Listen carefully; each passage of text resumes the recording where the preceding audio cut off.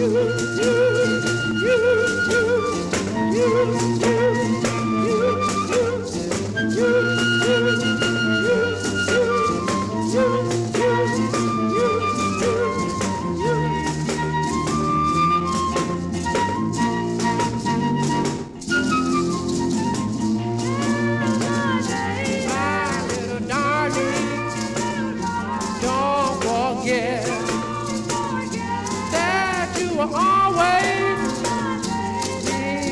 pet, and I will always keep you